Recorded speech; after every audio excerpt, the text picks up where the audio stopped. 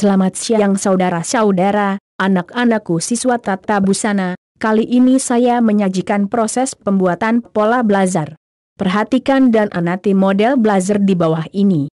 Dan setelah kita amati bersama model blazer ini adalah, bergaris leher bulat, bukaan depan dengan kancing satu, ada kupnat di garis leher yang berfungsi sebagai garis hias, berlengan panjang, dan diselesaikan dengan teknik semi-tailoring.